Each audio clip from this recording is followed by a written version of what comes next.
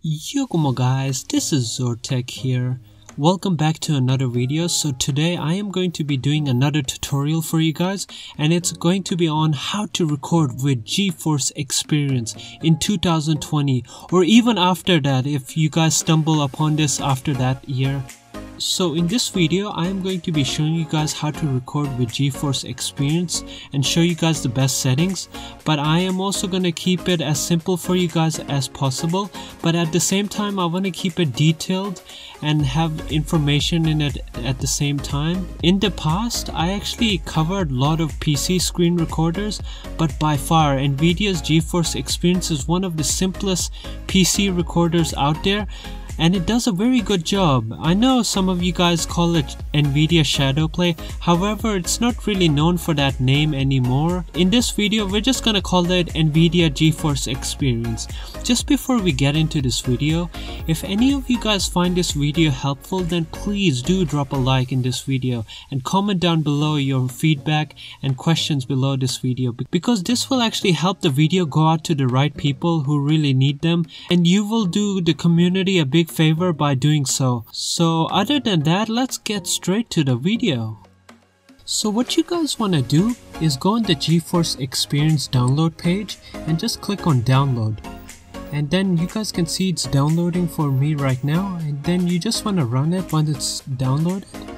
So you can see it's loaded and then it's just gonna bring you this you know privacy policy thing whatever you don't really have to read it just agree and install and you know it's gonna say installing so you just need to install. And then once you guys installed it then once you launch it it's gonna ask you to log in. So if you have an account just log in but you guys most likely need to create an account. So just do that if you want to. And once you logged in then it's gonna ask you for the privacy settings. I'm just gonna click on continue as it's gonna save some time but you know it's it's pretty simple. And so once you guys come here you guys gonna be asked if you want to optimize your games. You guys can but i'm just gonna skip it. And then once you guys done that you guys want to click on settings and this is actually the specs of your pc and this is actually important because for the in-game overlay it's gonna need these you know minimum requirements. Otherwise you won't be able to record with GeForce experience. And this is actually the in-game overlay. You want to make sure it's actually enabled. So you guys can see it's green right now. And you can go in the settings. And you know it's gonna show you these settings over here. What you guys want to do is go on HUD layout and it's gonna show you if you want to use the hey, HUD layout. You know you guys want this to show up or not like the frame rate or the viewers or something like that. That's totally up to you guys but for the video I'm not gonna do that as I don't want any overlays in my videos. So once you guys done that you guys want to go in recordings.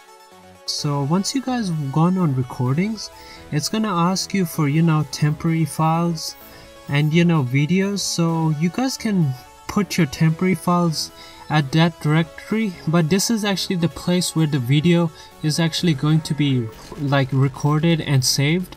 So you guys can change that if you like but I'm just gonna keep it at the same place.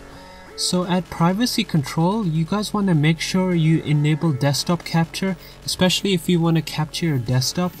And then you guys gonna you know get this main menu over here. You guys can do screenshot you guys can do a photo mode and a game filter. You if you guys want to get this showing up you want to press alt plus z to get this menu showing up. So you guys want to go under record settings and you guys can get instant replay on this as well. The cool thing about instant replay is just, let's say you have a cool moment and all that and you didn't record. You with instant replay you it's pretty much like you recorded without even recording. You know what i mean so for the resolution, just adjust it to whatever the game resolution is or the monitor resolution. And then just adjust it to what frame rate you want and um, bitrate. I would suggest if you want a high quality gameplay then you want to do it to the max like 50 megabytes per second. But you guys can do 30 fps or 60 fps i i preferably want 60 but if your game caps at 30 then do a 30 but you know once you guys done that done that then you just want to start recording. So the recording has started like it says on the top right. And I'm just gonna move this icon around just as an, as an example. So you guys can see I actually just moved the icon around and I'm gonna run Dead or Alive 6 so the, you can see the splasher screen is showing up and yeah the game is you know running as usual I'm just showing you guys an example of what a gameplay would look like so just bear with me Okay, so I'm just gonna go on a versus battle and just give you guys an example of what it would look like. So yeah, you guys can see.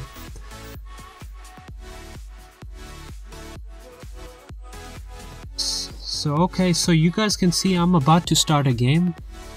So it's just loading. So once you guys got it to the gameplay, you guys can see that you know I'm actually playing the game and I'm recording same time please note in mind that you might notice some stuttering and the reason is because I got two recorders running at the same time making this tutorial but normally you would just have one recorder which is Nvidia Shadowplay so you wouldn't really get any lags but you guys can see it's doing pretty good over here so yeah you guys and yeah once you guys want to stop recording you just want to press alt and Z, Alt plus Z, and it's gonna get you to this menu over here.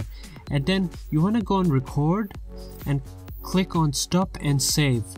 So what this is gonna do is save your recording and then you wanna go on gallery and then go on open file location. And this is where it's going to have your gameplay recorded. So mine's on desktop but yours might be completely different depending on where you did it on the settings. But you guys can see like this is the example right over here so I'm just you know fast forwarding it going back you know that's why it's looking like that but you can see this is the part where I was going random and this is the gameplay while I was you know playing so this is you know it's not looking so bad at all to be honest so yeah I mean like let me know what you guys think. Give me your feedback in the comment below. Anyways, I hope you guys enjoyed this video. And please share this video to your friends and family as you know some of them might need this video as well. And it actually would help this video go out to the right people. So yeah you guys. Anyways i hope you guys have a good one. And check out my other videos as i do a lot of videos like this. But i do like fun videos as well gaming videos. And i do like tech tutorial videos sometimes and uh, so much more. I'd sometimes even do trolling videos but other than that, hopefully you guys enjoyed this video and subscribe to my channel if you haven't and hit the notification bell so you don't miss a single video and I hope you guys have a yoga malicious day. Zortec signing out. Peace.